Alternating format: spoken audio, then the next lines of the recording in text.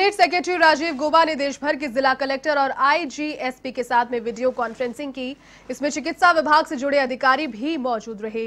अजमेर की एनआईसी में करीब एक घंटे तक वीडियो कॉन्फ्रेंसिंग हुई। इसमें केंद्र सरकार की ओर से 20 अप्रैल को दी गई जाने वाली छूट की गाइडलाइन के बारे में दिशा निर्देश दिए गए।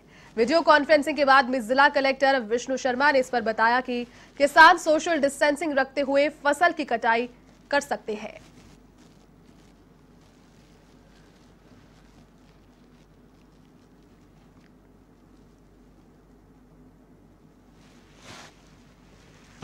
आज नई दिल्ली से कैबिनेट सेक्रेटरी श्री राजीव गौबा जी के द्वारा वीसी लिया गया था और पूरे ऑल इंडिया लेवल की वीसी थी। इसमें सभी डीएम और एसपीज के साथ इंटरेक्शन हुआ। जो तेर, तीन मई तक के लिए एक्सटेंड हुआ है, उसके संबंध में डायरेक्शंस दिए गए हैं और गाइडलाइंस भी दिया गया है। मुख्य रूप से इसमें रूरल एरियाज़ में जो है, नए काम जो चल रहे थे, वो शुरू करने के लिए और एग्रीकल्चर एक्टिविटीज़ को शुरू करने के लिए निर्देश दिए गए। चलिए, फ़िलहाल रुक रहे हैं, एक छोटे से ब्रेक